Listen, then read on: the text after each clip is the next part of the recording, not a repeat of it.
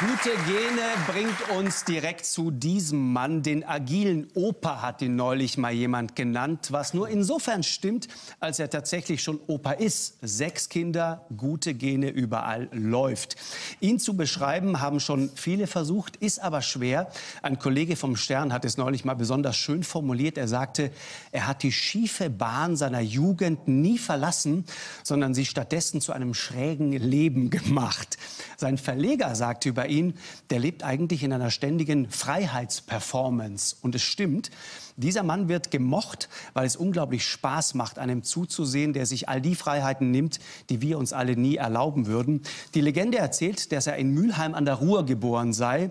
Neulich allerdings hat er das bei einer seiner herrlichen Improvisationen als Fake News entlarvt und sagte, die wenigsten wissen, dass ich aus der DDR komme. Vor zwei Wochen war ich da. Herzlich willkommen, Helge Schneider. Freue mich sehr.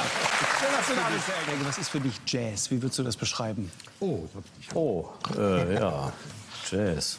Sag mal, was bedeutet das für dich? Naja, ist erstmal nur ein Wort. Aber Jazz jetzt für mich jetzt persönlich ist äh, die Musik, die ich liebe. Jazz bedeutet für mich Individualität, individuelle Freiheit, aber auch Swing, also ein Rhythmus. Jazz bedeutet für mich auch bunt. Ja, und eben ein Gefühl. Also ein Gefühl, auf das mich mein ganzes Leben lang irgendwo. Ein Lebensgefühl. Ja, ein Lebensgefühl. Hey, du sagst, äh, äh, bunt, Jazzbunt. War das sozusagen dann auch der Gegenentwurf zu, zu dem, was du als Kindheit erlebt hast, weil wir gerade über Kindheitstage sprechen? Ich bin ja ungefähr Mülheim 20 Ruhr. Jahre jünger wie du. Ich, äh, ich bin 1955 geboren. Ja. Hm. Und ich bin in, eine Zeit, in einer Zeit geboren, wo alle Männer graue Anzüge anhatten. Meistens zwei, zwei Reihe und Hut auf, wenn es geht, mit Zigarre im Auto auch. Überall Zigarre, überall wurde geraucht.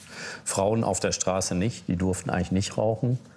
Ähm, wenn eine Frau in, wir hatten eine Frau in der Siedlung, in der wir wohnten, die kam aus dem Osten, die hat eine Turnhose angehabt und ein Männerunterhemd und hat Wäsche aufgehängt. Da haben alle erstmal alle Fenster zugemacht. Also da durfte man, das durfte man schon mal gar nicht sehen. Und die hat auch noch geraucht. Und das war, also, das war wirklich das Schrägste überhaupt, was es gibt. Das war so der Anfang von Jazz bei mir. Eine Frau in feinerem Unterhemd. Ja. Sehr gut. Man als, als Kind als Kind macht man eine Zeit lang sowas mit. Dann ist man immer, dann ist, man ist in der Entwicklung und dann denkt man, oh ja, äh, die haben ja recht, das ist ja eine böse Frau, denkt man dann vielleicht. So, ja. so ganz einfach, ganz doof. Aber irgendwann entwickelt sich daraus, irgendwann kommt diese Erinnerung auch an diese Frau. Es entwickelt sich etwas. Äh, und dieser Prozess, ich meine, dass ich heute noch daran denke oder so, das, das hat schon äh, was zu sagen. Also das, das hat mich geprägt eigentlich. Ist einer der wenigen, äh, eine der wenigen Situationen oder vielen Situationen, die einen Menschen prägen. Das ist einfach so. Die Frau im Feinripp Unterhemd an der Wäscheleine. Äh, die Frau in, in, der roten Turnhose mit den nackten Beinen. Ja. Guck mal. Äh, der es völlig egal war, wie sie jetzt da aussieht. Es war warm und darum ging's. Wenn du sagst graue Männer mit grauen Hüten und grauen Anzügen, äh, das heißt, da gab es den Wunsch, auf gar keinen Fall irgendwann mal einer von diesen grauen Männern mit diesen grauen Hüten zu werden? Ähm, ich weiß noch, wie ich meine erste Jeans irgendwie äh, hatte ich von meiner Schwester äh, aus dem Schrank geholt und äh, die habe ich dann angezogen und dazu ein Pullover auch von ihr. Äh, die Jeans ging mir original bis hier oben, wo jetzt das Mikrofon ist. Und der Pullover war so ein Rollkragenpullover, so ein Rippen, so ein sogenannter, damals gab es Sexy Pullover. Und äh, da war ich total stolz, habe ich gedacht, boah, jetzt sehe ich einfach unheimlich cool aus. Es gab ja nur Nietenhosen und mhm. keine äh, Jeans, die kamen dann ein bisschen später. Und das war dann so, sagen wir mal, der erste Schritt in die Eigenständigkeit. Ich hatte nämlich vorher nur Knickerbocker getragen, mein Leben lang. Also bis ich äh, ungefähr elf, zwölf Jahre alt war. Äh, die, wie muss man sich die Situation bei euch zu Hause vorstellen, Helge? Wie, wie habt ihr da gelebt? so beengt, sage ich mal. Kleines, äh, in, in, einer Siedlung mit niedrigen äh, Decken, Kohleöfen, dann äh, Badeofen auch. Da wurde dann äh, einmal meine Zahnklammer drin gefunden, das heißt die Überreste. Die habe ich nämlich verbrannt. Weil ich wollte die nicht. Du wolltest sie nicht und hast sie Nein. angezündet. Und äh, morgens kam der Bäcker äh, ans Küchenfenster und reichte so ein Brot rein. Und da war eine äh, Wäschetrommel mit Wäschelauge unter der Spüle. Da wurden dann Pullover gewaschen. Dann hatten wir einen Hamster. Und wir hatten sogar mal einen Goldfisch auf dem Schrank in so einem runden Glas. Also wirklich so wie im Film. Dann hatten wir auch ein richtiges Telefon mit einer, ich glaube, eine vierstellige Telefonnummer damals noch. Kann man sich eigentlich gar nicht vorstellen. Oder sogar nur drei. Ich weiß nicht mehr. Und das hing äh, in, im Flur in der Höhe, wo die Kinder nicht dran kamen. Also ungefähr in der Höhe. Aber mein Vater war sehr klein, der kam da auch kaum dran. Der musste auf jeden Fall immer musste den Arm ausstrecken. Und der Flur war dann, ich erinnere mich, wir hatten einen Sisalteppich im Flur. Das ist ein ganz grober roter Sisalteppich. Und da bin ich als Kind, immer, als ich noch nicht laufen konnte, immer drauf rumgerutscht. Deshalb hatte ich immer so Rillen im Hintern. Ja, das sind so Erinnerungen. Und meine ersten schönen roten Lackschuhe, die auf einmal weg waren, bloß weil ich eben größere Fuß, Füße gekriegt hatte, waren die dann weg. Da war ich ziemlich sauer. Ja. W wann begann deine Liebe zu roten Lackschuhen, Helge? Möchtest du darüber sprechen? Ja, da möchte ich drüber sprechen. Ja, vielleicht war das wirklich da auch eine Initialzündung. Ich habe dann eine Zeit lang später, als ich dann in der Pubertät war und danach, dann habe ich mich immer so ein bisschen merkwürdig gekleidet auch, um, vielleicht um aufzufallen. Ich habe auch einen Anzug angezogen. Ich habe irgendwo in so einer Boutique oder in so einem Second-Hand-Shop, die gab es dann auch in äh, späten 60er Jahren schon habe ich mal so einen giftgrünen Anzug gekauft oder so und habe den dann so getragen auf der Straße. Habe mir ein Saxophon umgehängt und dann der, beim über die Ampel spielen, äh, beim über die Ampel gehen Saxophon gespielt. Ich konnte das aber noch gar nicht. Außerdem war das kaputt. Ja. Wie, wie haben die Leute darauf reagiert? Also diese, all diese grauen Ja, Menschen mit diesen grauen Hüten. Gar nicht. So wie es nun mal im Leben ist. Ich meine, im, im Ruhrgebiet, da sind die Leute ja, du kannst da fast alles machen. Ne? Die Leute sind unfassbar sind cool. tolerant. Sind cool. Ja. Mhm. Es war, stimmt es, dass du, das irgendwo gelesen, dass du irgendwann eine Zeit hattest, wo du schon mittags um 12 in Essen in die Diskothek gegangen bist? Ja, damals machten die Diskotheken morgens um äh, 11 Uhr ungefähr auf oder 10, 11 Uhr. Und da gingst du hin. Da ging ich dann jeden Morgen hin, weil die Schule, das war so nicht mein Ding. Ja. Das heißt, das heißt du, al- wie alt warst du dann? Äh, 14? Mit 14. Warst du mittags gegen 12 in Essen in der Diskothek? Ja. Möchtest du darüber reden? Warum? Äh, Es wurde Musik gespielt, ich habe getanzt. Tanzen. Ich habe unheimlich gerne getanzt. Getanzt? Ich habe unheimlich gerne getanzt. Und damals fingen auch an, die Haare länger zu werden. Aber ich habe wirklich unheimlich gerne getanzt. Da war dann irgendwie Pink Floyd oder so, hat man auf das hat Das- man. das bist du in da war jungen ich, Jahren, Helge? Da war ich 14,5. Oh, ist so süß. Da sitze ich am Klavier. Aber ich weiß nicht mehr, wo. Da habe ich schon äh, so Auftritte gemacht, vereinzelt. Ja? So gespielt, ja. Hast du, hast, du, hast du da schon diese verrückten Geschichten auch gemacht, also improvisiert? Ja, ich habe äh, ein, mein erstes Lied hieß äh, Ich bin ein Petticoat, glaube ich, oder irgendwie sowas. Und dann habe ich so ein bisschen Englisch, Deutsch, so habe die Leute damit total genervt. So habe ich Boogie Woogie aber schon gespielt. Ich glaube gar nicht so schlecht. Und ich habe mir das alles selbst beigebracht. Ich habe ja früher klassisch Klavier gelernt. Und Ja, du hast, du hast ja das mit der Schule, sagtest du ja schon gerade, ist, ist dieses etwas schwierige Verhältnis Mhm. und hast das ja dann auch nicht zu Ende durchgezogen. Ja, ich habe einfach gedacht, äh, ich müsste doch arbeiten gehen. Ich wollte also arbeiten gehen, ich wollte zu Hause ausziehen, ich wollte Musik machen, aber ich wollte mit Musik kein Geld verdienen. Das ist Was mir bis heute nicht gelungen ist. nee, ich wollte wirklich kein, ich dachte, das macht Spaß, Musik, Ja. das ist mein Leben. Ich will damit kein Geld verdienen, ich gehe jetzt arbeiten. Da habe ich mehrere äh, Lehren angefangen. Wa- Was hast du da gemacht? Meine erste Lehre war als Polsterer, also äh, in, in äh, Kissen machen?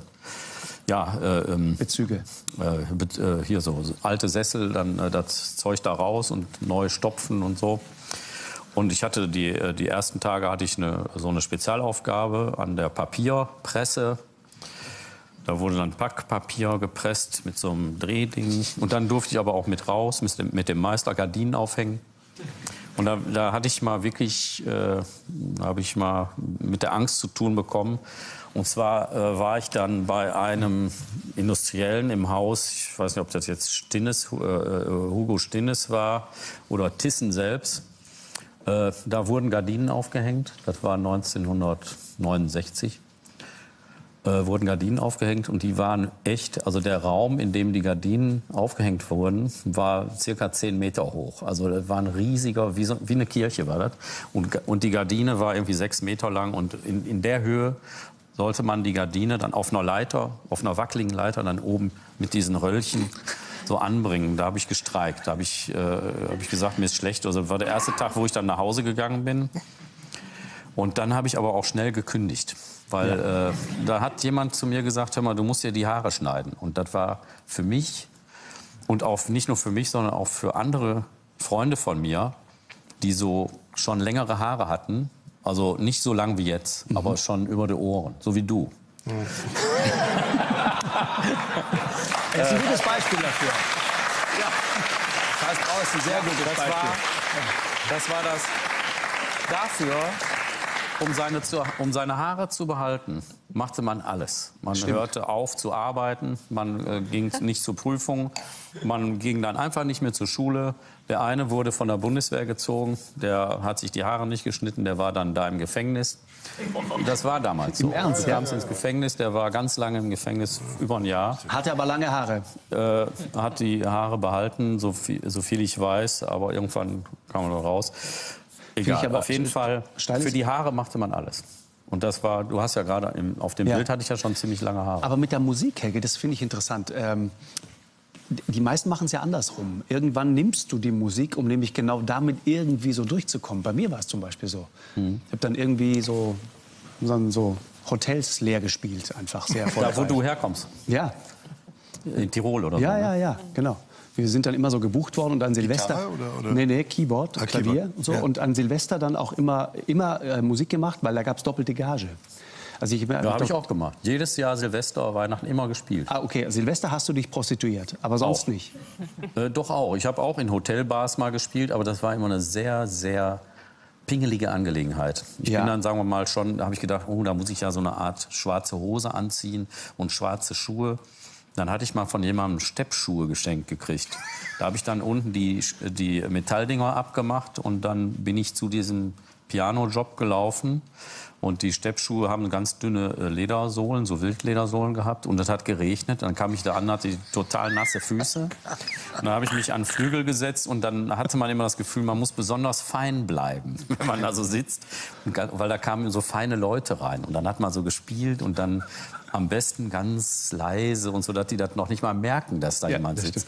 Denn sobald die das merkten, sind die wieder gegangen oft. Ne? Weil, Weil die gemerkt die, haben, dass da einer spielt. Nee, es, es, es gibt auch so es gibt so Phasen und es gibt auch Leute, die mögen einfach keine Musik. Die gehen irgendwo hin, wollen sich unterhalten und ja. dann, ach, hör doch mal auf. Das gibt es ganz viele. Total. Und du Oder spielst so. eh schon total leise und der kommt, jetzt mach doch mal leise. Ja. Und wo ich immer auch, wo ja. ich immer so ganz, wo ich auch dann immer mit den Leuten, mit denen ich dann am Tisch sitze, wenn da so zum Beispiel so Geigen, Geiger kommt und einer spielt Akkordeon, einer spielt Trommel oder so und die spielen dann irgendwie schön. Und wenn dann einer sagt am Tisch, ey, das kannst, das hört doch mal auf, dann ist das nicht mehr mein Freund. Mit denen will ich nichts zu tun haben, sondern mit den Zigeunern, die da spielen. Mit denen will ich was zu tun haben. Das habe ich immer so gemacht. Ja, finde ich gut. Aber das heißt, du hast Du hast das neulich mal gesagt. Sagt, ich, ich habe nie Musik gemacht, wirklich Musik gemacht, um über die Runden zu kommen. Im Zweifel bin ich lieber arbeiten gegangen. Stimmt es, dass du äh, in einem dieser Jobs auch mal Wahlhelfer warst? Ja, Wahlhelfer war ich gewesen. Da war ich noch, äh, war ich auch noch so 16, 17 ja. war ich da. Äh, ja, für, für einen Monat habe ich bei der Stadtverwaltung so einen Nebenjob gekriegt. Da war ich auch Wahlhelfer. Das war interessant, ja. Weil? Weil ich habe Briefwahlen entgegengenommen. Das heißt, ich saß in so einem Raum und dann kamen Leute und klopften an, wie bei der Polizei. Ne? Ich hatte auch so einen Ausweis vom Ordnungsamt, glaube ich. Und ich saß dann so mit meinen langen Haaren und oft hatte ich, weil wenn du draußen warst, hatte ich so einen Afghanenmantel an. Und äh, wenn das geregnet hatte, stank der Mantel unheimlich, ne? wie so ein alter Hund. Und dann saß ich dann da und auch äh, rasiert habe ich mich damals gar nicht. Ja. Und, äh, Eine Tradition, die gar du nicht- weiter pflegst, Ja, jetzt im. Moment, das ist ja so, so eine Art Kuhlenkampf-Ferienbad, den ich jetzt hier habe. Aber damals war einfach, man hatte so als Hippie einfach kein Rasierapparat. Was soll das? Lange Haare. Und dann saß man da und dann kamen Leute rein und äh, mussten mir ihren Ausweis zeigen. Und äh, damit ich die abhaken konnte, damit die dann diese, Super. diese Briefwahlunterlagen von mir entgegennehmen konnten. Und dann kriegten sie ihren Ausweis wieder und dann konnten sie dann sofort an die Urne gehen. Da waren tolle Typen. Einer kam rein. Guten Tag, ich möchte CDU wählen, zum Beispiel.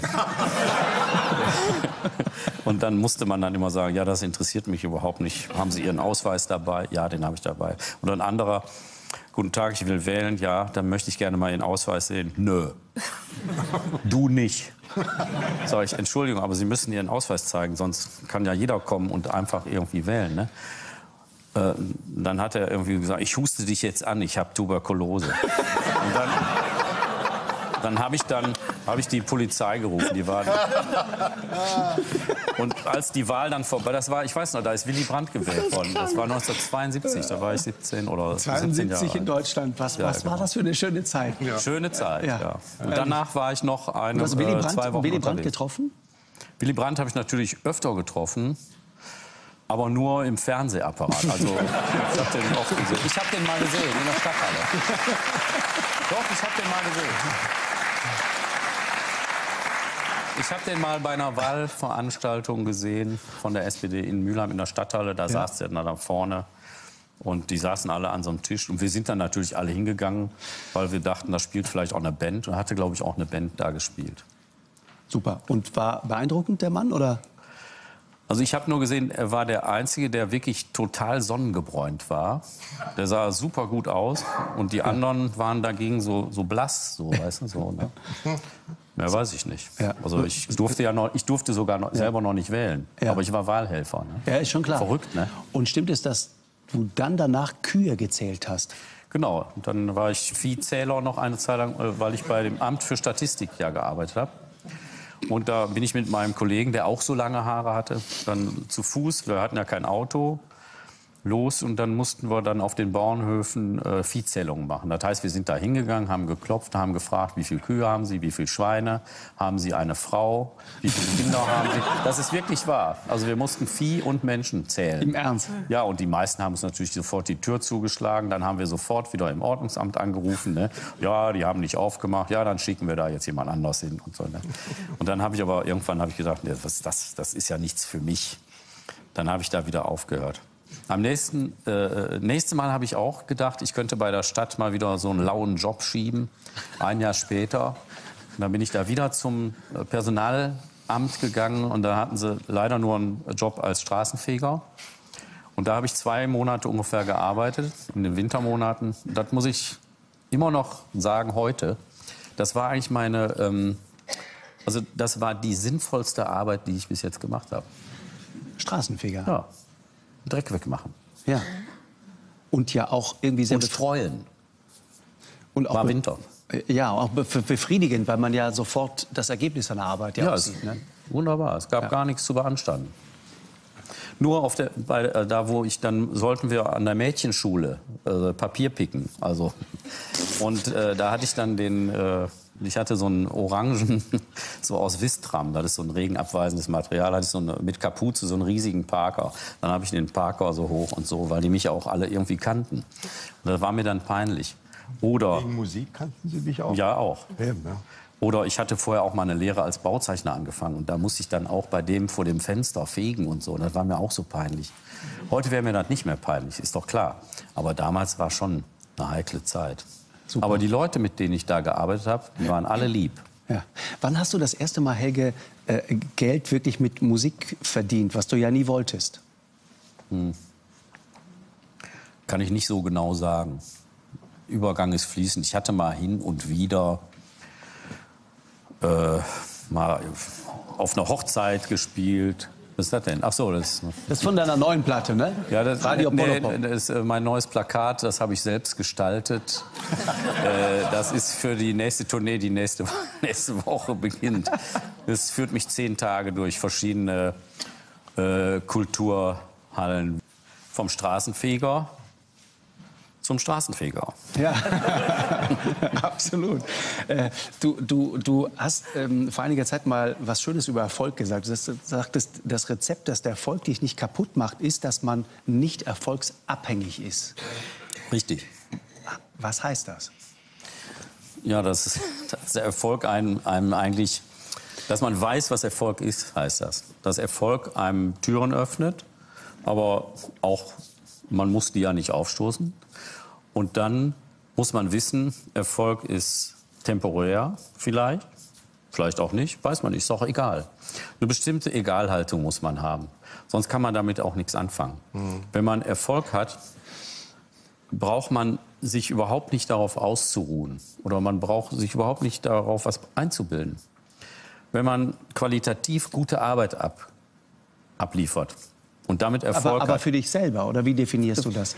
Wollte ich gerade dazu kommen. Ja. Wenn man qualitativ gute, gute Arbeit abliefert, egal ob für einen selber oder für andere, und man damit Erfolg hat, dann ist der Erfolg auszuklammern und die qualitativ gute Arbeit ist einfach die Priorität. Und der Erfolg ist ein Nebeneffekt. Und bei der qualitativ guten Arbeit sollte man bleiben. Mhm. Verstehe ich. Aber wenn du sagst zum Beispiel Katzenklo, ne? Als das mit, als das mit, mit, mit Katzenklo so richtig losging äh, und plötzlich verdient man richtig viel Geld, äh, was Na, denkt man dann? So schlimm ist es auch nicht. Nee? Doch, komm. Aber es ist doch toll gelaufen für dich damals, ne? Ja, es ist gut gelaufen. Äh, ich sag mal so, Geld macht nicht glücklich, aber kann natürlich dazu beitragen, dass du unheimlich viel Freiheiten hast. Mhm. Äh, das Geld, was man benötigt, um auch meinen Beruf auszuüben, ist natürlich auch, äh, wenn das Geld nicht da wäre, würde ich meinen Beruf sicherlich auch ausüben können, aber müsste auf bestimmte Sachen verzichten. Gute Instrumente vielleicht, ein tolles Saxophon, eine tolle Gitarre. Vielleicht hätte ich das dann alles irgendwo anders her. So. Vielleicht auch was geklaut, keine Ahnung. Aber auf jeden Fall, äh, aber bis zu einem bestimmten Punkt ist die, wenn man, ich sag mal so, wenn man so viel Geld hat, dass man da so ein, äh, so ein, so ein Plus hat von unendlich, oder so, wo man gar nichts mit anfangen kann. Also ich bin nicht so der, der, der Typ, der sagt, so, das muss ich jetzt auch noch haben, das muss ich auch noch haben und so weiter. Mir ist wichtig, dass ich meine Arbeit gut machen kann und dass ich auch manche Sachen dann auch altersgemäß vielleicht äh, nicht mache. Ja? Wenn ich zum Beispiel jetzt wieder die Anfrage bekomme, hier schreib doch mal ein Buch, dann sage ich mir selber, ja, der soll vielleicht mal in zwei Jahren wiederkommen. Wenn er das jetzt sieht im Fernsehen, dann wird er mich vielleicht anrufen. Und dann sage ich dasselbe nochmal. Lassen wir mal so stehen. Herrlich, Herr Radio Polypop. Radio Polypop. Ja, so. ich habe immer Titel, muss ich immer machen.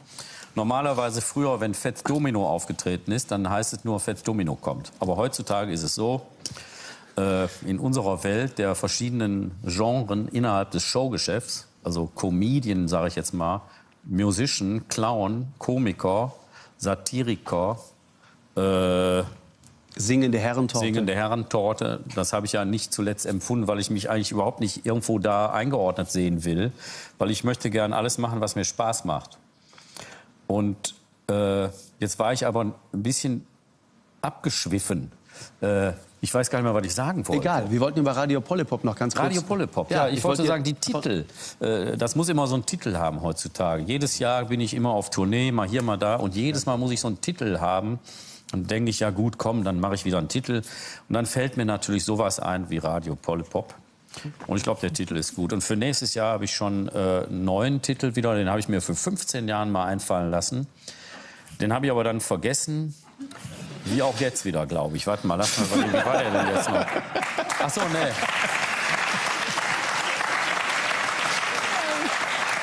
Oh, vergessen. Hast vergessen, ja. Vergessen. Vergessen. Okay. Der Titel ist vergessen. Äh, wir, wir, wir sehen uns dann wieder, wenn er dir wieder eingefallen ist. Ich freue mich, freu mich drauf. Ja. Okay, immer schön mit dir. Danke dir ganz, ganz herzlich. Das, das, ist das, weswegen die Leute dich lieben. Frei. Innere Freiheit. Ist schön.